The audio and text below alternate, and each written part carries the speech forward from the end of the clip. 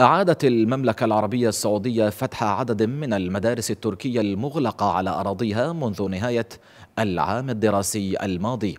وفي تصريحات لوكالة الأناضول قال المسؤول في القنصلية التركية بجدة إن عددا من المدارس التابعة لوزارة التربية التركية. بدأت نشاطها التدريسي اعتبارا من الثاني من سبتمبر أيلول الماضي وأضاف أنه تم فتح المدارس التابعة لوزارة التربية التركية الواقعة في مدن جدة والدمام وتبوك لصفوف المرحلة الابتدائية.